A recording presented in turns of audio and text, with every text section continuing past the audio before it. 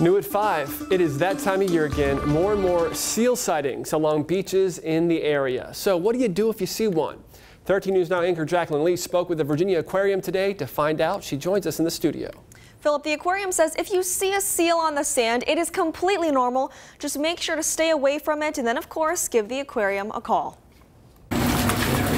Seals. Uh, they're really cute. I like them. They may look adorable and cuddly. Well, I'd probably want to photograph it and get up close as possible without touching them, of course. but experts are warning you to keep a distance. And if they're approached, they can bite.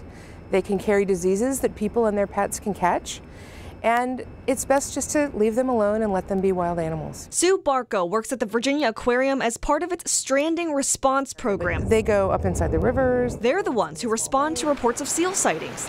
Like this one. 13 News Now viewer Bill Carter sent us this photo yesterday of a seal hanging out on Chicks Beach. What we do is evaluate the animals from a distance to try to see if they appear to be healthy. We look at their posture, we look at their body condition, um, we look at how alert they are. Barco says this time of year, when the water is cool, seals pop up along the beach to rest. And seals naturally come up on land whether they're healthy or unhealthy. Perfectly healthy seals haul out on beaches.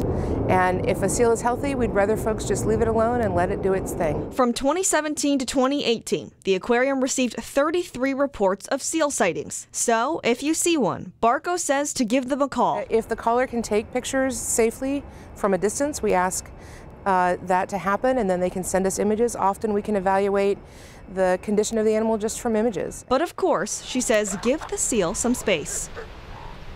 Employees at the aquarium tell me most of the time the seals that hang out on the beach are healthy, but they say keep your pets far away from them. Jacqueline Lee, 13 News Now.